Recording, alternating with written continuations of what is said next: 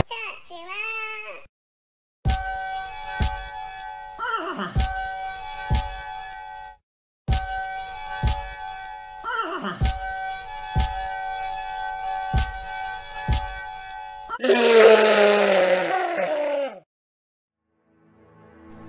yes, that's yet another addition to Wayne Stock James hashtag the portfolio.